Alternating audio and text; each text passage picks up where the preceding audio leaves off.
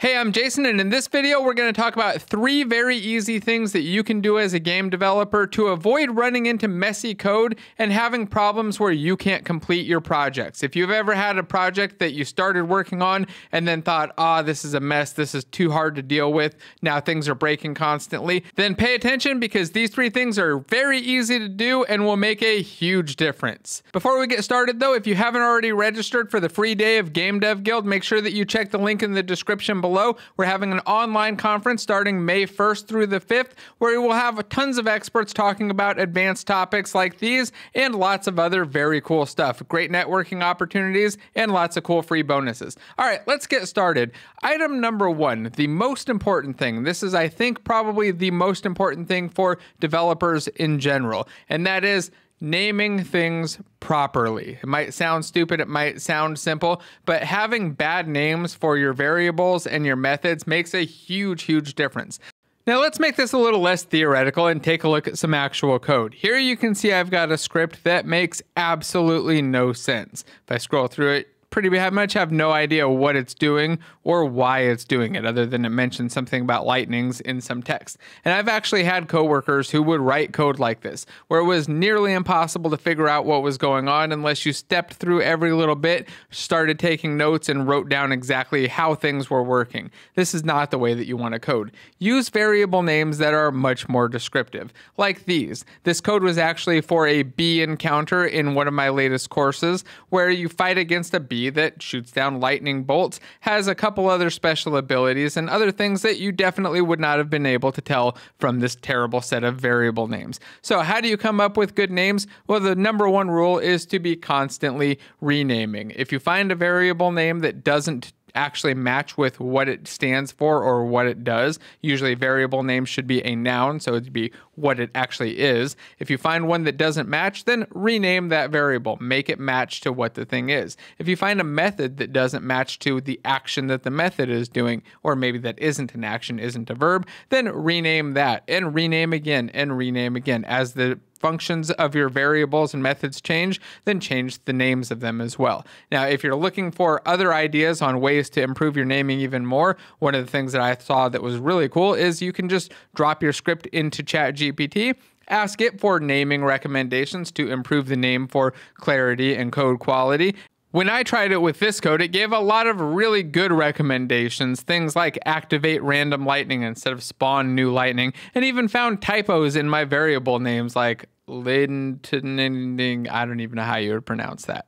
So definitely name things well, fix the names of your stuff so that you can find it later and if you've got a badly named lightning, you go search for lightning, you can actually find it. And you'll find that your experience and your kind of pleasure level in your game development will be much, much higher.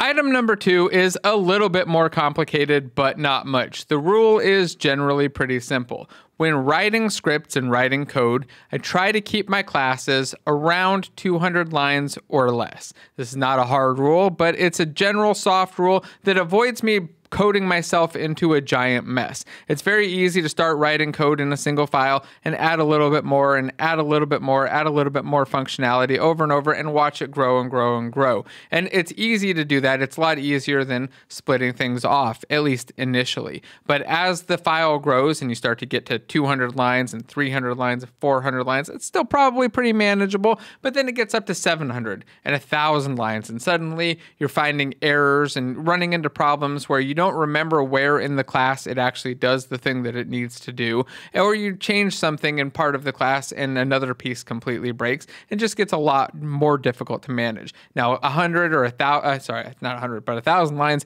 is not unmanageable. You can definitely have a thousand line class and work with it and have it be okay. My general recommendation though is aim for 200 ish because it's a whole lot easier to deal with and a lot less likely to turn into what often happens when you stop having these rules is uh, something like a 10,000 line class. I've run into multiple of those in actual AAA games, enterprise applications, all kinds of other things, and they're always a problem. They're always a big headache that nobody wants to deal with and makes it so that things take a lot longer. I not just classes too. I can think of extreme examples on uh, EverQuest. There was one method, not not a class, but a single method that was 10,000 lines for equipping items. Took six months to refactor, tons and tons of work to be able to make simple item changes. It's again one of those things that the code starts off simple. It's easier to just keep adding. It's a whole lot better long term if you start to think about code size